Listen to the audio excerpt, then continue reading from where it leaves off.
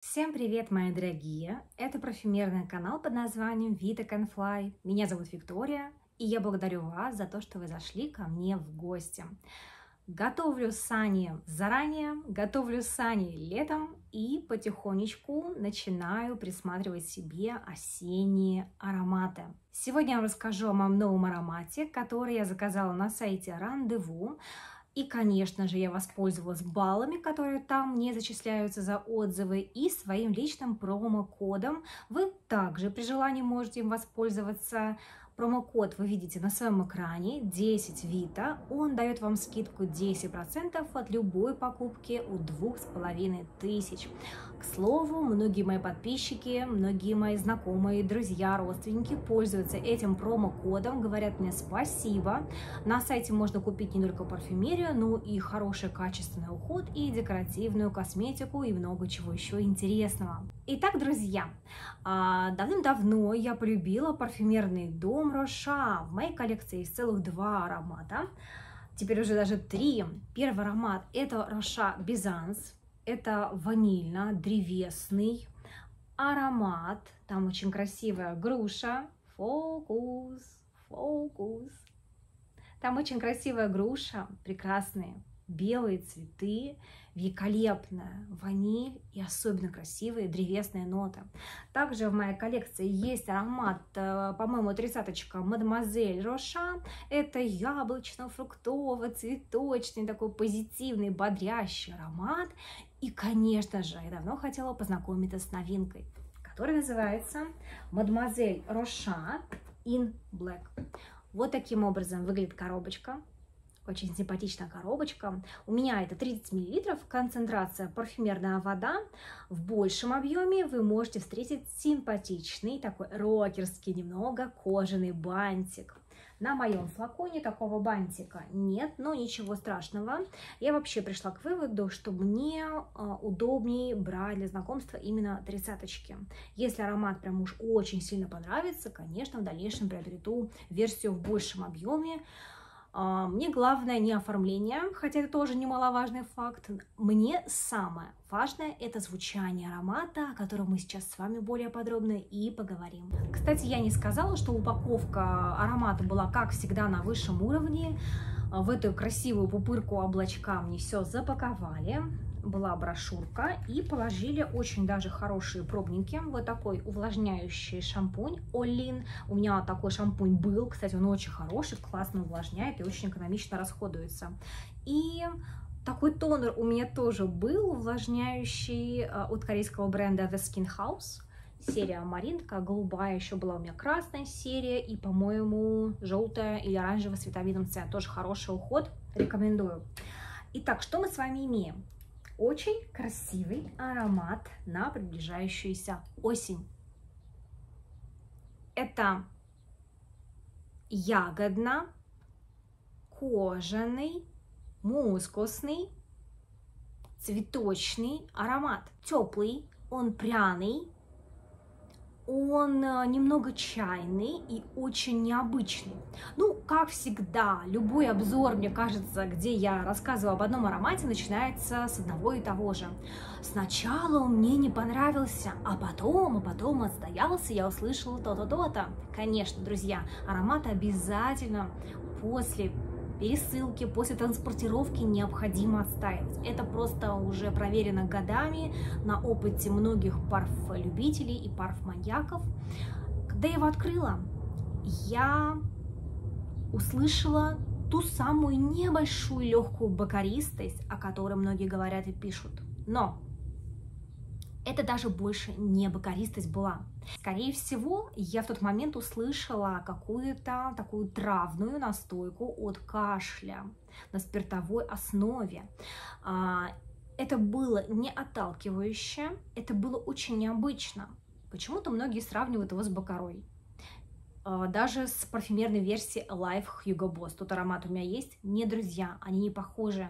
Они не с одним настроением, они совершенно разные. Я думаю, что а, вот эту ноту боярышника, которая здесь есть, в перемешку с чайными нотками, с ежевикой, почему-то многие воспринимают как а, бакаристость. Нет, на мой взгляд, это совершенно никакая не богористая история. Итак, давайте я быстренько зачитаю пирамидку. Аромат 2020 года. В верхах у нас с вами ежевика, черный чай и бергамот. Однозначно все слышу. Сердце – это кожа. Очень интересно, да, что в сердце здесь заявлена кожа, роза и боярышник. Тоже очень крутая нота оказывается. И в базе это амброксан, черная ваниль и дубовый мох. Что слышу я? Кстати, вот у меня сейчас свежий блотер, и есть блотер, а, которому уже дня, наверное, 4.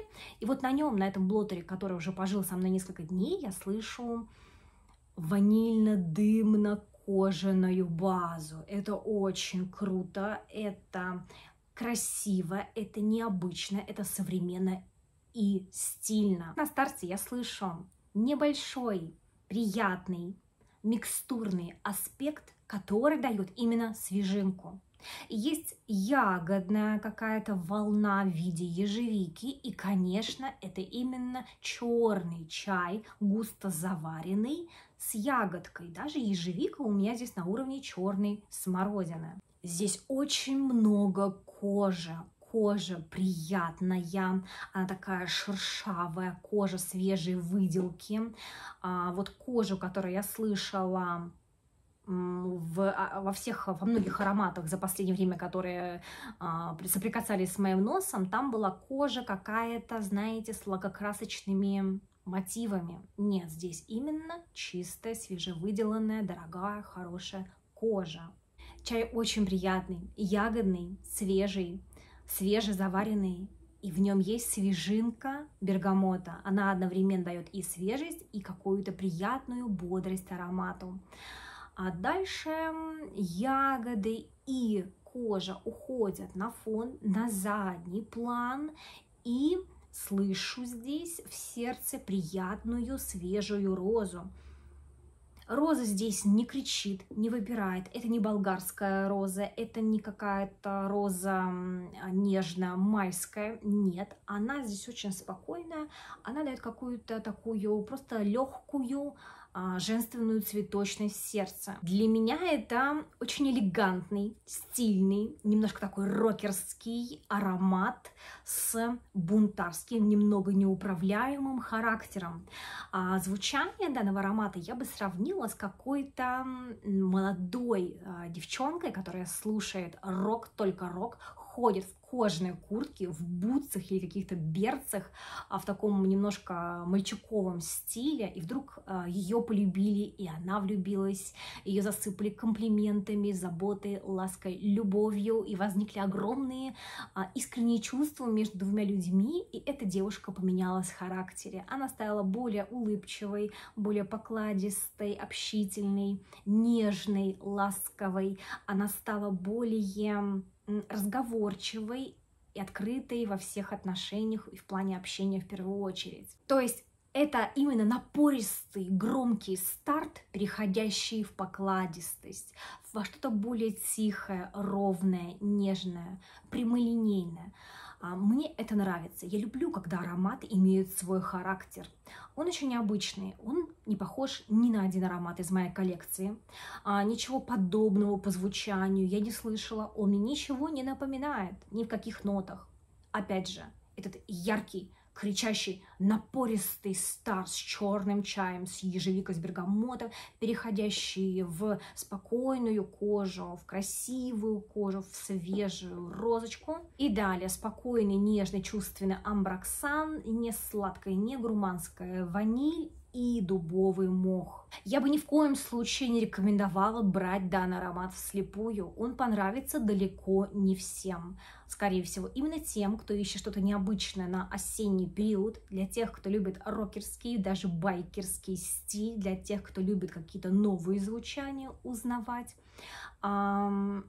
ни в коем случае без теста не берите. Обязательно сначала подойдите, познакомьтесь, поносите на себе в разную погоду, с вашим разным настроением, поживите с этим ароматом а, и уже поймете, нужно, нужен он вам или нет. Конечно, мой сегодняшний образ не совсем сочетается со звучанием данного аромата. В идеале нам не должна быть какая-то простая майка, сверху кожаная куртка. Это был бы самый идеальный вариант. я бы сказала, что данное звучание для меня лично ближе к нише. Мне кажется, в любом слепом затесте я бы сказала, что это либо тяжелый, тяжелый люкс, либо а, какая-то ниша. Ну, потому что вот тут очень необычное сочетание нот. Особенно главенствующую роль здесь играет чай, черный чай, ежевика и кожа. По крайней мере, именно... А, и, конечно же, не сладкая ваниль. По крайней мере, именно эти ноты я больше всего здесь слышу. Технические характеристики здесь средние. А, это не особо шлейфовый аромат, он сидит близко к коже, к телу, но при этом лично я его от себя хорошо слышу. На мне, на моей горячей коже он держится примерно 4-4,5 часа, возможно, нужно его обновлять, но опять же, с ним нужно пожить подольше. Аромат у меня находится в руках примерно неделю. Мне бы очень сильно хотелось узнать как можно скорее, как он будет звучать осенью. Я думаю, с кожаной курткой, с грубыми ботинками, с кожаной а, сумкой, хотя у меня нет кожаных сумок, к счастью, каким-то прикольным стильным шарфиком, с интересным макияжем, с укладкой, это будет смотреться очень стильно, современно. Так, знаете, вот прям вот э, образ современной какой-то городской девчонки рисуется у меня в моем богатом воображении. И еще я хочу сказать, что данный аромат я бы надела на какое-то вечернее мероприятие, на какую-то клубную вечеринку, на встречу с подружками или на какой-то поход, э, например, в кино или на выступление группы куда-то в клубешник или а, какая-то, может быть, какая-то открытая вечеринка на открытом воздухе. Это было бы очень круто. Вот это бы а, все между собой классно и стильно сочеталось. А, друзья, вот такое мое мнение об аромате Mademoiselle Rocha in Black. Сам бренд мне очень сильно нравится. Практически все ароматы, которые я знаю, меня цепляют, какие-то вот именно нотки отдельные, и само звучание в целом меня влюбляет в себя. Довольна ли я новым ароматом? Да, довольна. Прям жду с нетерпением теперь уже осени, чтобы его протестировать на себе в прохладное время года. Ну а вы, друзья мои, пользуйтесь моей скидкой 10 Вита на сайте Рандеву, совершайте выгодные, полезные покупки. А я благодарю вас за внимание, я вас целую, обнимаю и встретимся с вами совсем скоро в новых парфюмерных видео. Я вас обнимаю. Пока-пока.